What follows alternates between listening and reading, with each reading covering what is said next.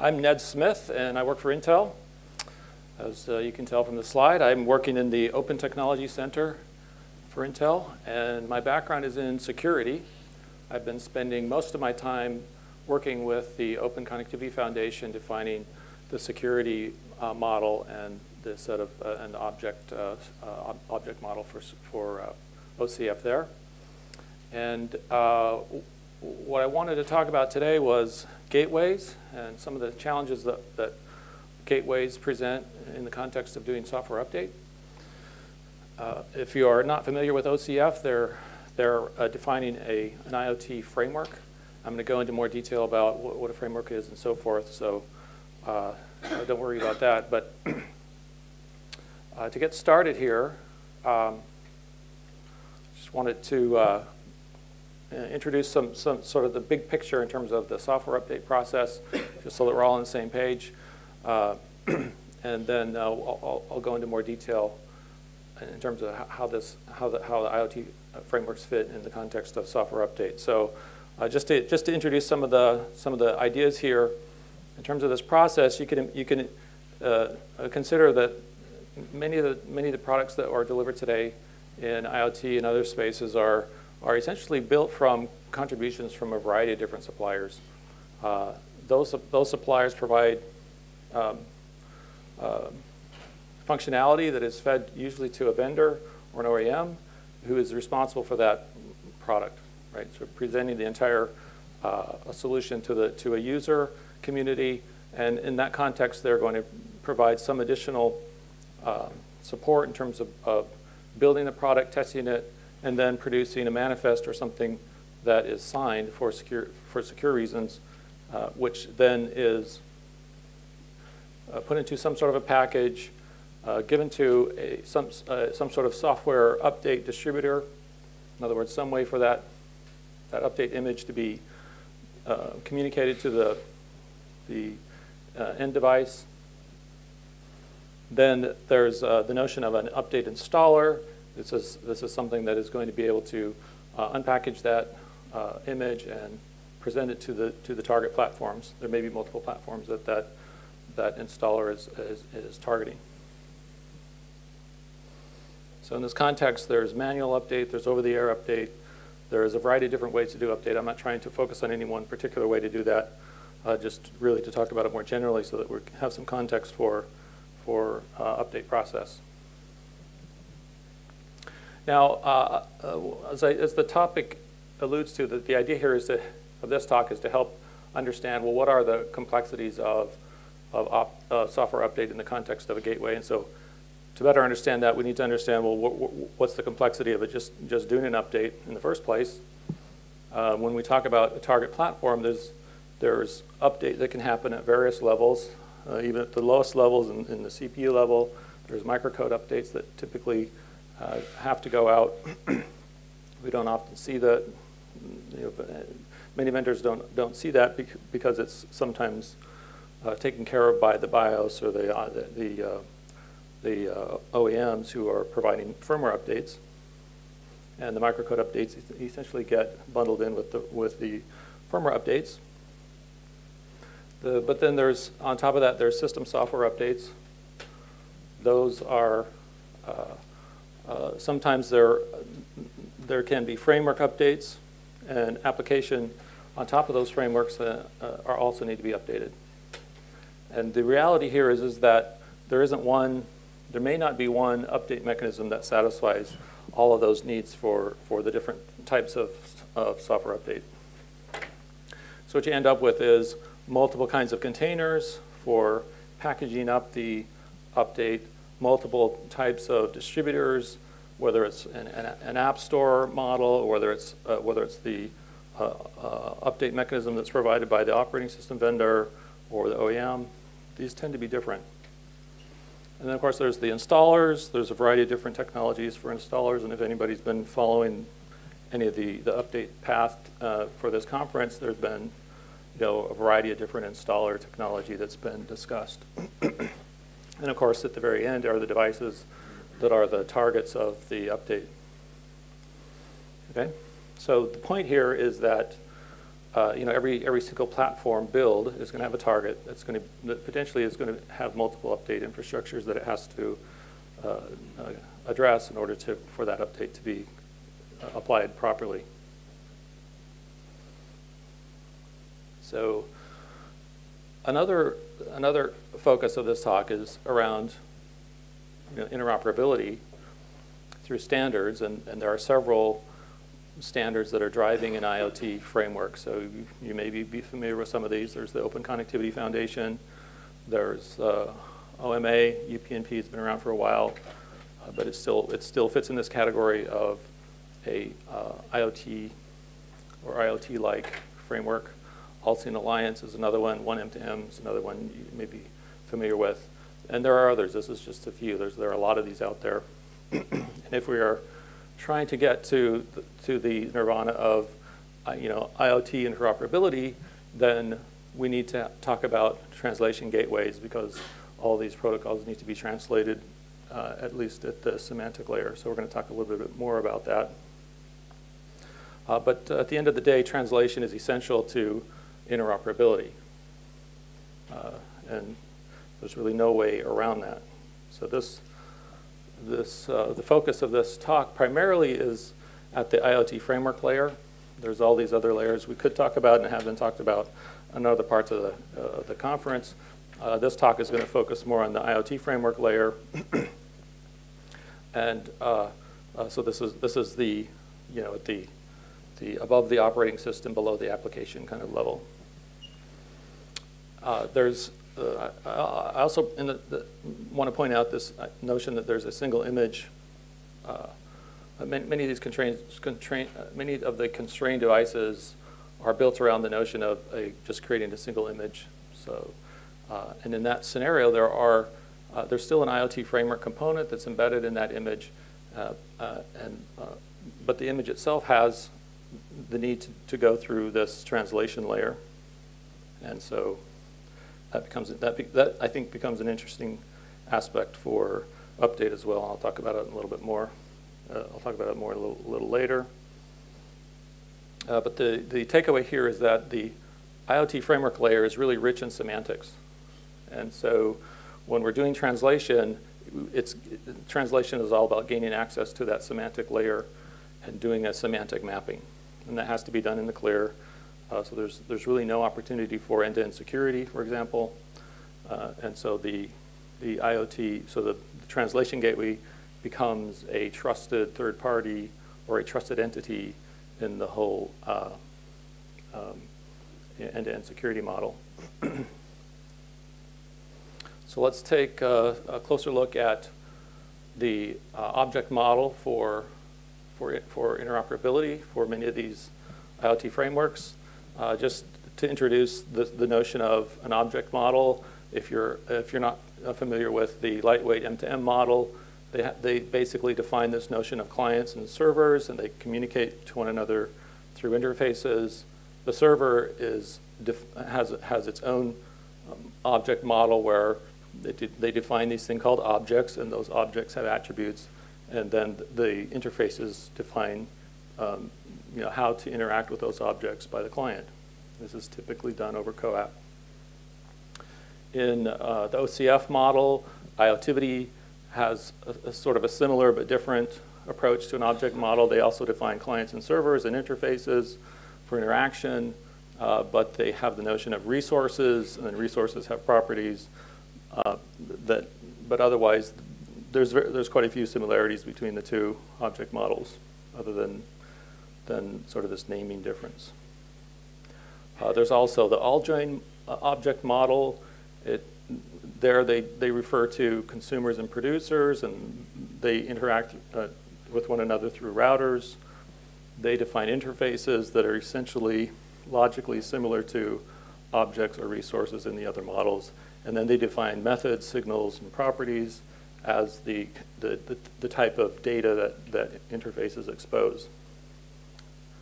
The whole idea behind these frameworks is to get interoperability between the clients and the servers.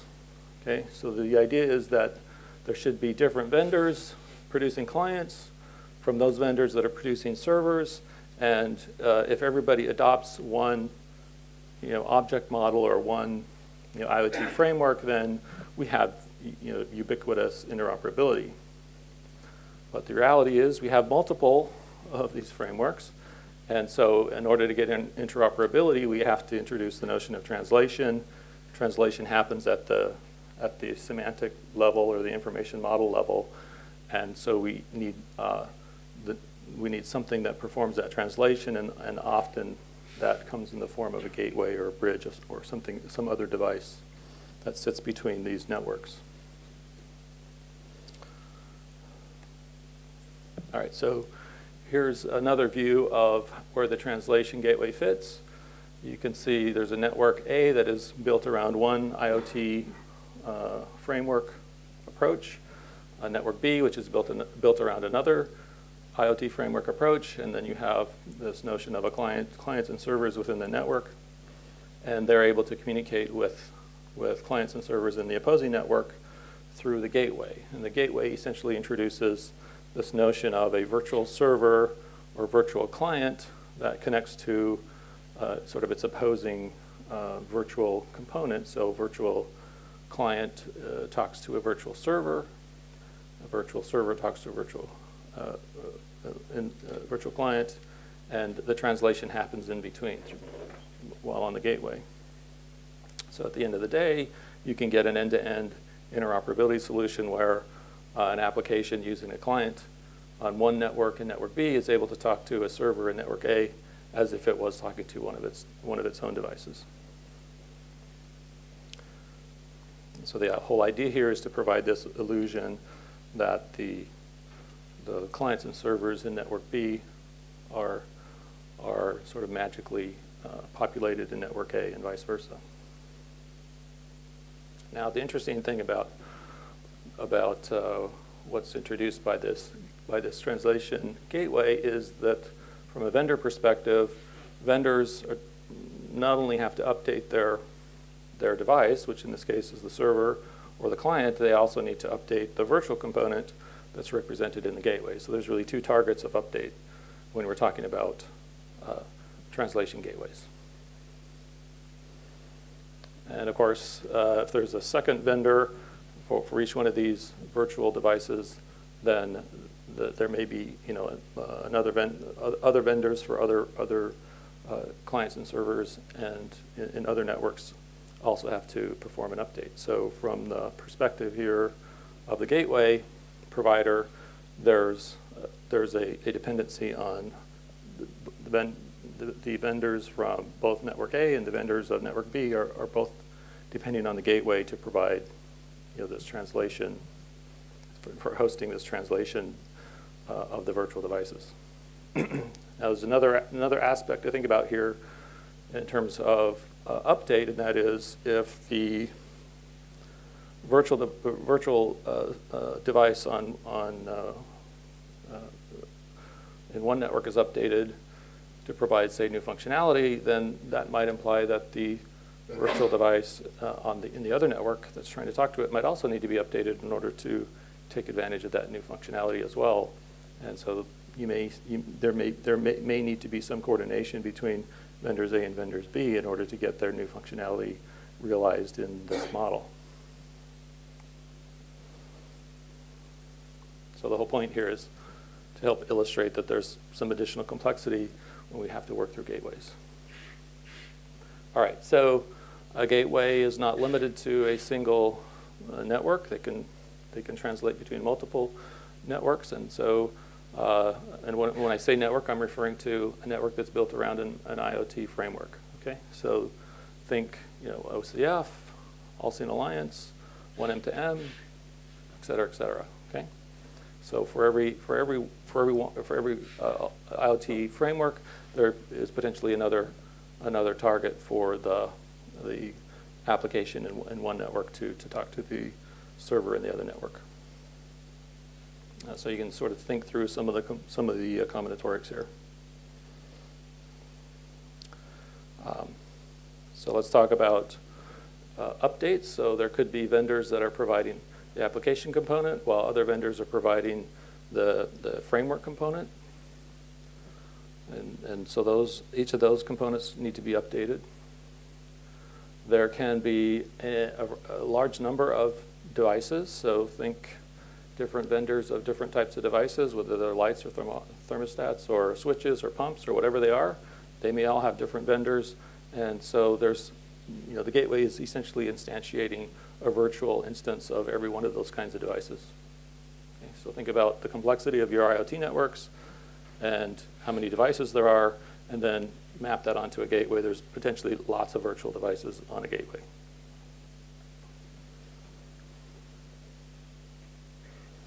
Now the other, the other uh, point here to note is the, the impact of update on the gateway becomes really important in terms of the latencies that are, that are introduced through the update mechanism.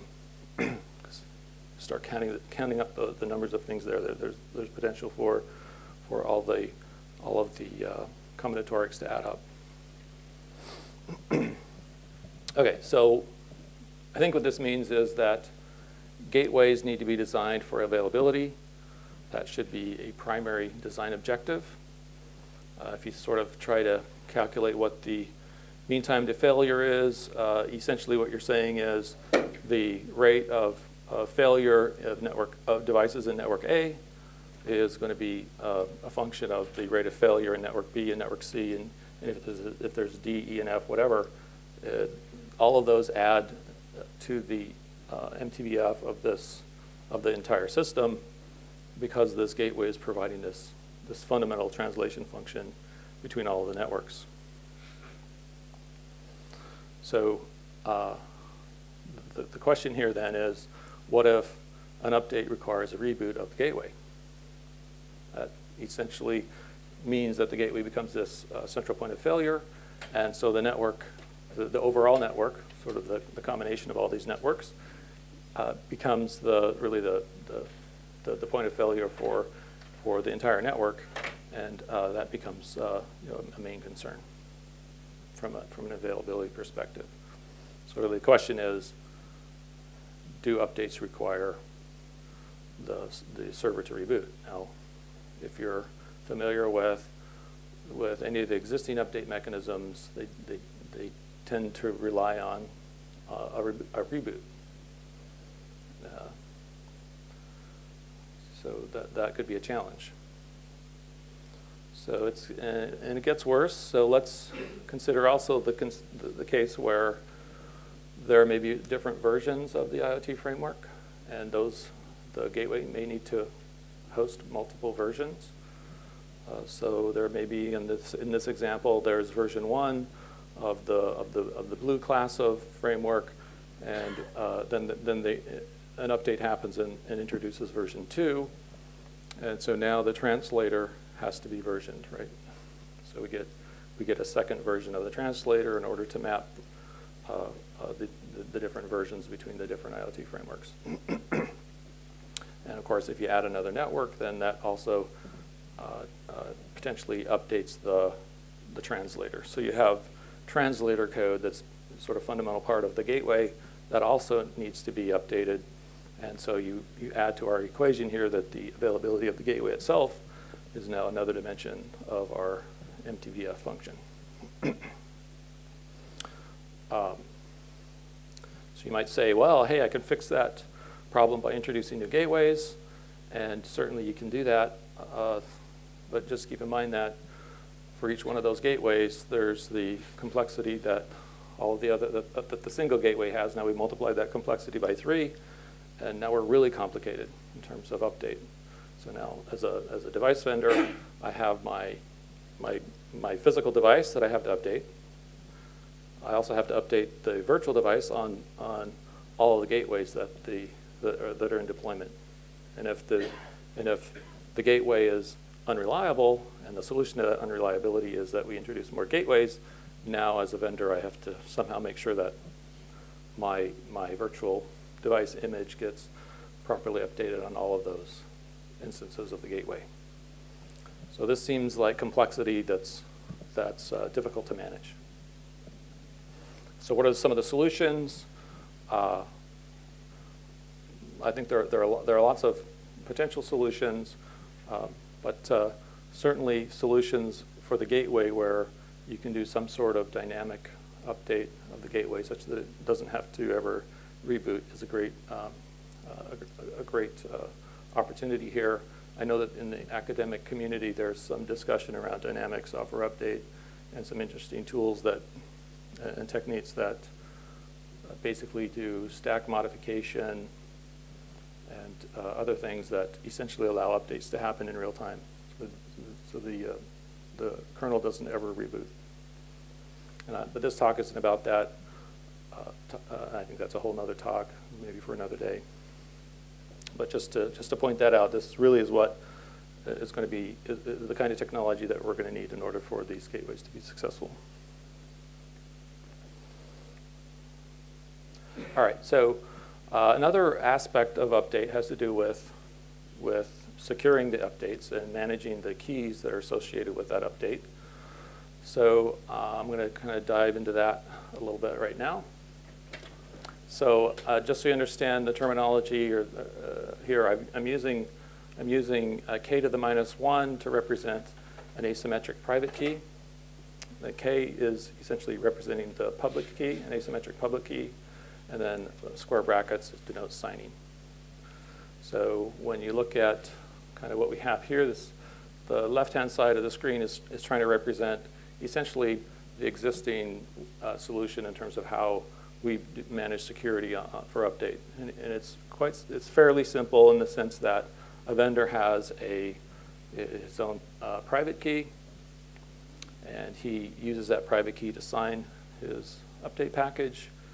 So there's some signature, and uh, whether it's in a package or whether it's streamed sort of doesn't matter. The point is he has, a, he has his key that he uses to sign that package, and then his key is also embedded in the device in some sort of secure storage so that when the, the package arrives, it can be validated.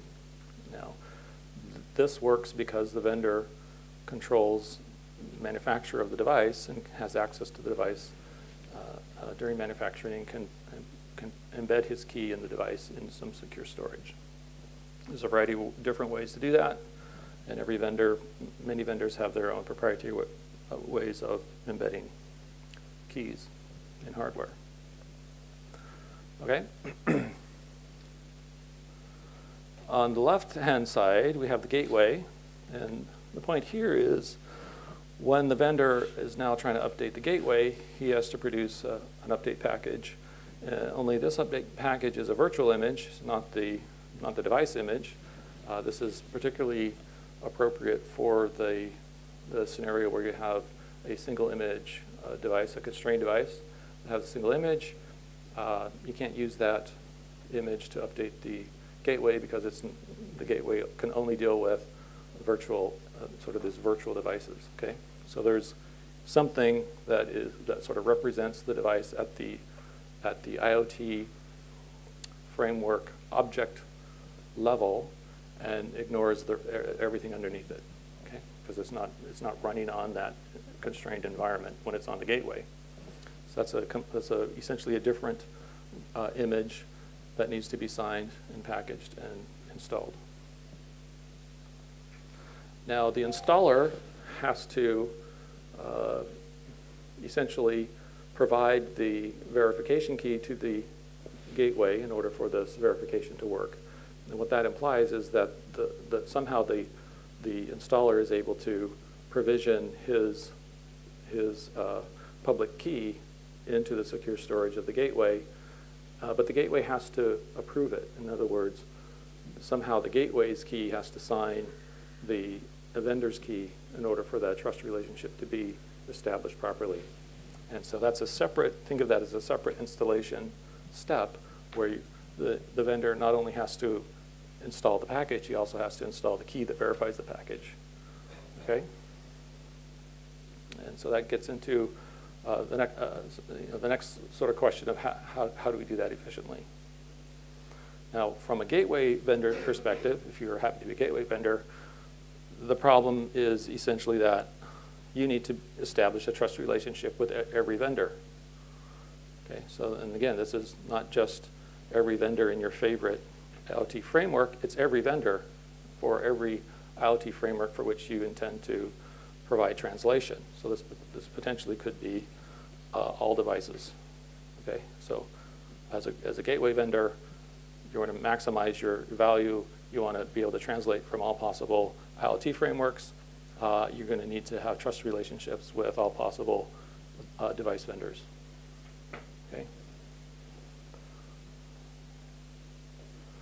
And keeping in mind that vendors change their keys, and also vendors change. They, they, they come and go, they go out of business. There's a lot of uh, uh, you know, dynamism in the whole vendor community. So as a gateway provider, you have to deal with all of that. Okay, so what are, what, let's kind of review here. What are the, some of the essential uh, features or capabilities for, uh, for some sort of scalable update mechanism that involves gateways? So first of all, automation. This, this should be obvious. Uh, we, we, there needs to be some sort of notification that an update is available. So you can imagine all the vendors are, are working feverishly to update their products. And so as a gateway uh, provider, you want to know when those updates are available. Um, there should be some sort of install package customization so that the, the uh, image, you can tell the difference between an image that's, that's aimed, that, that is targeting a physical device versus one that's targeting a virtual device. Um, and there should be some mechanism for rollback, uh, and that should be automated. So if, if, if, the, if for example, the uh, installation fails, you can respond to it appropriately. Uh, think in terms of the complexity for rollback when you're trying to coordinate, excuse me, when you're trying to coordinate the installation of both the physical device and the virtual device. If one of those fails, then you got to roll back the other one, okay? And vice versa. That's an added level of complexity uh, we should be uh, concerned about. In terms of security, uh, images need to be signed. It doesn't make sense to, from a gateway vendor's perspective to install a virtual device that potentially is going to introduce some kind of security uh, malware into their gateway and bring it down. So they're going to require signed images. Uh, there needs to be a root of trust in the devices. This is, and so this, this applies both to, to physical devices, but also to the virtual devices. Uh, that has to be there. And then there's this notion of a trusted image repository. There needs to be some place to, to store the, the images that the gateway needs to install. And, and again, the installers themselves need to be trusted. So whatever whatever uh, solution that the vendor is providing to the gateway to install the virtual devices, uh, the gateway vendor needs to trust that. Uh, testing and validation is also an important component. Uh, if you think about vendor vendors uh, uh, typically test their devices, they, are going to have the added responsibility of, of, of testing the virtual device as well and making sure that that interoperability is uh, uh, the interoperability promise of working through a, a, a, uh, gateway that does translation is, you know, a supported uh, capability. Uh, we also need to establish some open source technology for doing things like having common images, so bundles, packages, manifests, you know, whatever that is, we, we really need to have, we need to reduce the number of choices that are out there so that uh, the, we don't introduce un unnecessary complexity just in the way that we create, um, you know, update images. And I know that's, everybody has an opinion which, which you know, package and package manager that, that they like, but every time we have a, you know, a different one, there's, that just adds some complexity that makes it more difficult to uh, ensure that you've, you, you know, you've uh, addressed all of the corner cases. And uh, messaging the, at the framework layer is also another area uh, where we could look at having open source technologies address uh, the need here. In, in other words, uh, when, when you look at the, many of the update mechanisms, they introduce their own sort of framework layer for messaging. And uh, so in the context of IoT frameworks, they're defining essentially a messaging framework for, for, for achieving that connectivity. And so it doesn't seem to, to me, it doesn't make sense to have multiple, uh, you know, different types of messaging frameworks, especially ones that are, that are focused narrowly on, hey, here's how I'm going to do, I'm going to do over-the-air updates using this new type of messaging framework when the whole goal of the industry for interoperability is to standardize around a few, uh, you know, IoT frameworks.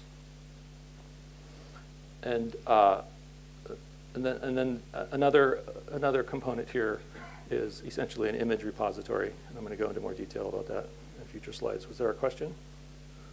Okay. If you have a question, just raise your hand. I'll call on you. Okay. All right. So suggestions for update scalability. Uh, so uh, I think a cloud, you know, the, the assertion here is that a cloud repository is essential in order to scale the complexity. We need to find some way to reduce the, the apparent complexity from the perspective of the gateway and from the perspective of the vendors. So a great way to do that is introduce uh, a cloud service and uh, hide a lot of that complexity. So here's a, a suggestion for how we might do that. Uh, if we have a cloud repository that's built around a publish-subscribe model, essentially you can have the vendors be represented as publishers into the cloud, they publish their images, and then the installers are the subscribers.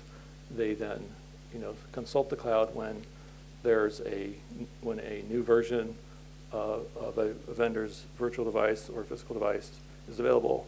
They then get notified through publish subscribe, and they can react then by installing the appropriate sort of updated image to the appropriate device, whether it's a physical device or a virtual device on a gateway. So what you see here on this slide is uh, just sort of a, an example is vendors one and three are publishing to version 1.1 of a particular uh, um, framework. And the installer one is the one that's installing, and it's installing both, uh, both uh, device A and device B and it's installing into you know, both the virtual, virtual device as well as the physical device, and they all happen to be, uh, you know, of the blue, the sort of the blue flavor of, of the IoT framework. Vendor two, on the other hand, is is uh, building a device that can speak on all uh, on three different IoT frameworks, uh, and so it's it, it has a little bit tougher job in that it needs to provide it needs to publish to, to each of those topics for, for, for each of the flavors. And then the installer that needs to be able to uh, install each of the flavors on, on the, uh, both the virtual and the physical devices. Okay? You get a sense for, for what this slide is trying to represent here. Now, uh, keep in mind this diagram doesn't deal with what happens if there's installation failure and how rollback works. That's added complexity that, that needs to be considered. All right, so now let's talk about key management of the cloud repository. So on the far left, you'll see essentially how things work today. This is sort of a simplified version of how update works today. You have a vendor, provides his updates to some sort of repository that then gets uh, applied to the device, and the device has this a public key for which it is able to, to verify the update. Now, some vendors uh, go out of business, and that leaves their devices that are out in deployment, and someone really ought to update them. Some of the ways that they deal with that is they license their, uh, their updates to uh, another outsourcer, and so they essentially delegate through, through uh, key signing, they delegate to the outsourcer. Um, uh, and so essentially what that means is the outsourcer uh, uh, key is signed by the vendor key, and then the updates are provided by the outsourcer, but can be signed by the by the vendor key.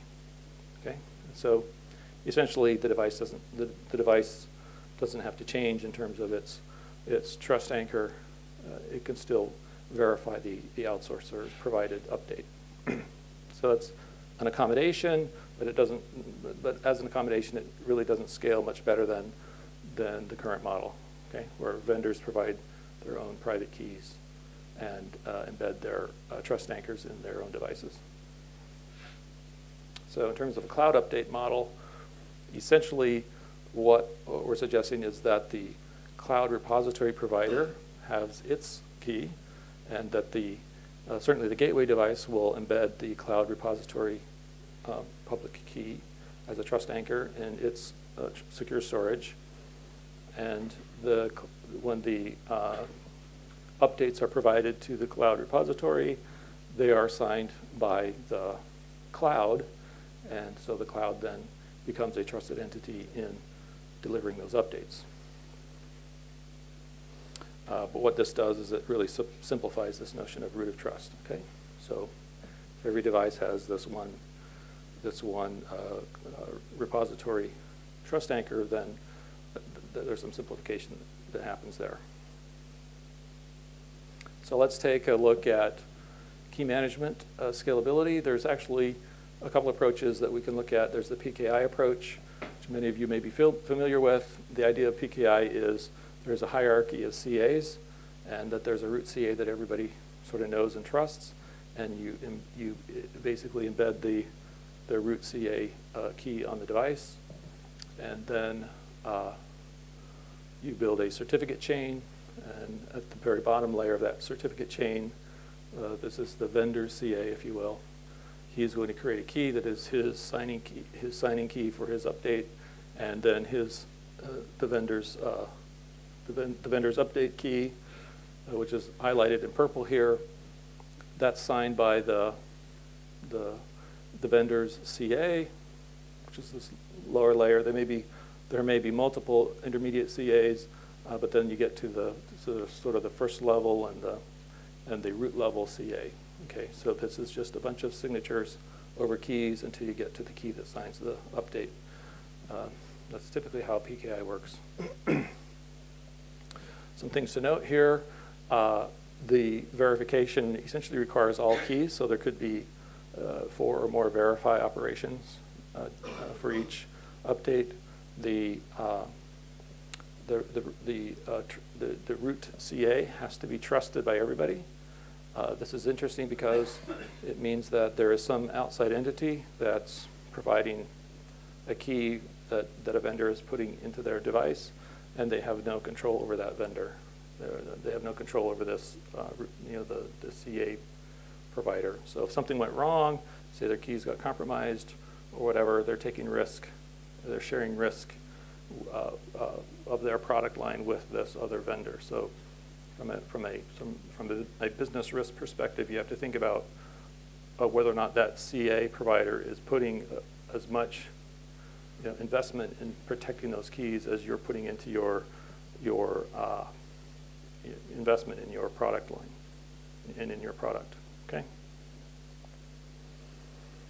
So if we take, compare that with the uh, cloud repository approach, essentially the uh, cloud repository has an update that's signed by the vendor. The vendor, the cloud then signs, uh, countersigns the update with the uh, cloud repository key. So you see this again highlighted in purple, the countersigning of the cloud key uh, of the update that's also signed by the vendor.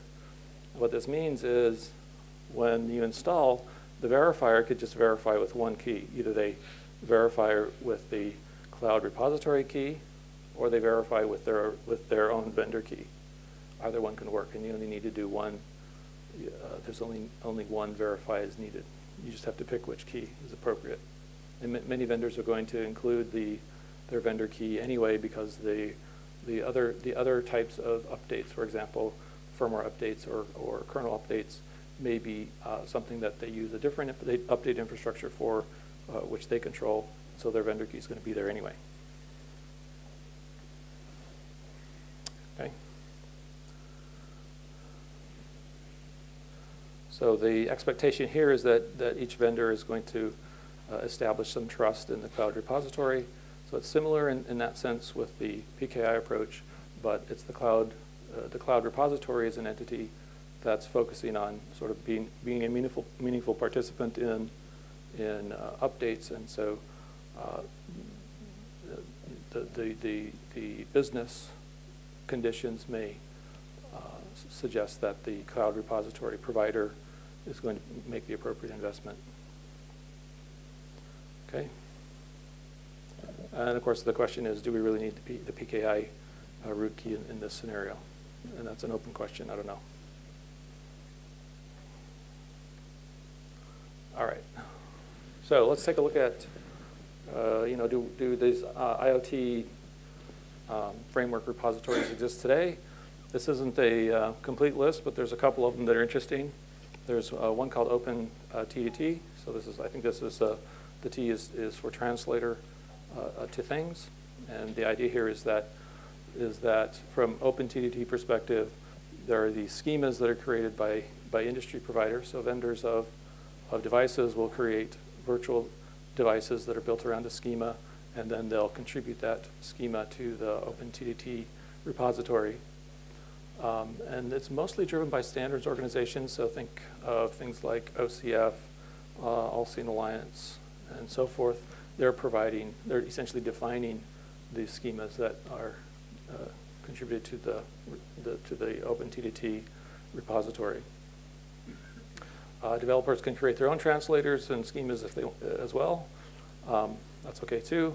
Uh, translators can run on you know, devices, cloud-connected things, gateways. They sort of run on anything, uh, assuming you know, given that you have the the the the IoT framework component underneath them. Okay, uh, another interesting one is the OSCAR bundle repository. Uh, this is essentially bundles of OSGI objects. The OSGI, uh, it's a sort of an OSGI defined manifest that goes with that. Uh, there's, it offers programmatic access to, the, to a web repository.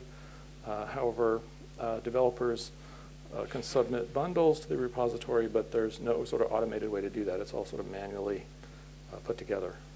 So there's still work to be done to make it automated, but this, this seems to be the type of choices that are available today.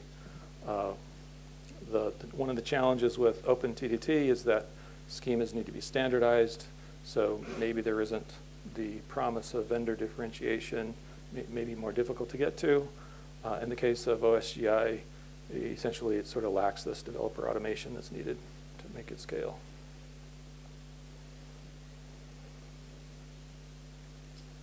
Okay, so uh, the, and of course, uh, the other sort of main, from, from the perspective of security, uh, uh, there's still a bit of key management that's, that's ignored by, by any of them.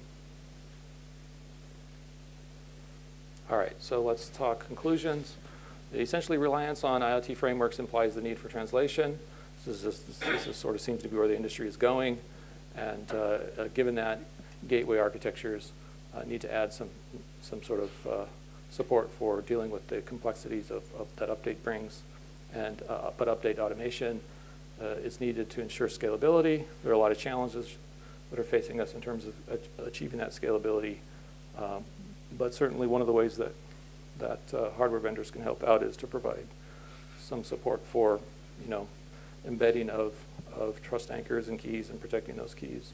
That seems to be one of the, one of the fundamental components to all of this. so with that, uh, open to questions or comments uh, that others may have.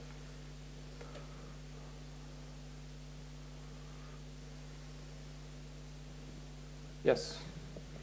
uh, all signing all images, does it create what, so at least when you currently look at what the gateways on the market, normally they get supported by two years or something like this till the warranty is over and then you don't get update at all from your vendor because, yeah, they don't make, so as long as they don't make a monthly, uh, revenue on this, um, and I think when someone goes out of business, it's probably much cheaper to just say, your device end of life, uh, buy a new one instead of giving some third-party devices to update. Yeah. Uh, That's a, that's a great observation, and I'm not trying to advocate one, one sort of business model over another. Um, uh, But certainly, the, the, the- there is the possibility that vendors can go out of business and they don't support their products any longer. And the question to the industry is, what do we do about that? Um, One possible solution is is, that that presents a business opportunity for somebody to go and, and, and support them. Uh, But in the absence of that, then what, what does the industry, you know, what's the right thing for the industry to do? Uh, From, from a gateway vendor perspective, it's, it- it's sort of, one of the options for the gateway vendor is to say, oh, well, I can't support this uh, translation device any longer because the the vendor's not supporting it. That creates essentially uh, maybe, maybe a, a- a, a useful control point for, for uh, preventing that device from, from creating, you know, creating a problem because they can just remove the virtual device from their gateway and now that connectivity is not allowed, sort of a way of turning off the physical device. Um, But, you know, that, ideally, that's not the best answer. Ideally, there's, there's some way for the, uh, those devices to, to be updated by, by, you know, somebody who wants to pick up support for it.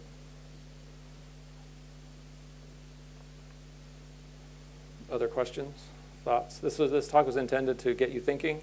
It's not trying to provide a, uh, you know, an absolute solution. But really, it's, it's something that as an industry, we have to be aware of and try and, try and work through it and figure out what, what's the best way to address this. I, you know, I think we're making great progress with over-the-air updates and so forth, but those, that, you know, everything I've seen so far at this conference in terms of uh, update is focusing on update just, just the physical device, and there should be some thought given to updating the virtual devices and working with gateways and helping them scale. Okay? Comments, questions? If not, uh, thank you very much.